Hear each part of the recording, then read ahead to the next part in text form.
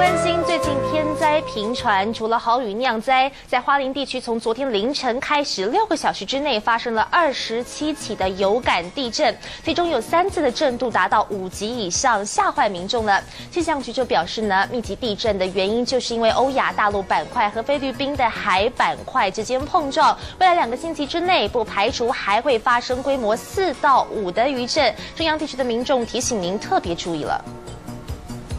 民宿天花板的吊灯摇摇晃晃，这是十五号凌晨的华联地震造成的摆动。监视器转到户外停车场，也是晃个不停，甚至把树叶、雨滴都震落。可以想象当时的震度有多大。走进的东西全部叽里嘎啦，哇！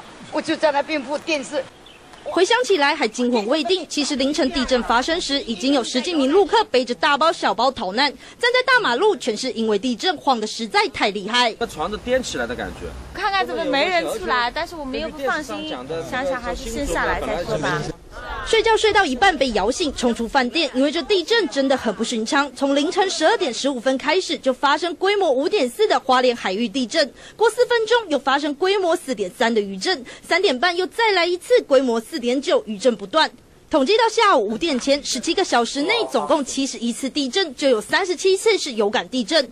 第一次主震震度最大，花莲县机器有六级，光复五级，受风四级，花莲市三级，都是属于浅层地震。规模以上的地震，后续会又那个引发出一一连串比较那个小规模的地那个余震，这个这个现象是很那个很常见。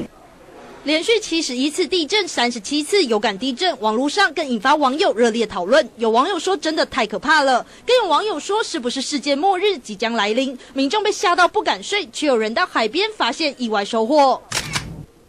地牛大翻身，各地都传出捡到地震鱼，就有这么巧，清晨有钓客在花莲利雾溪出海口发现一尾六米长的地震鱼在海滩奄奄一息，直呼真的太巧合。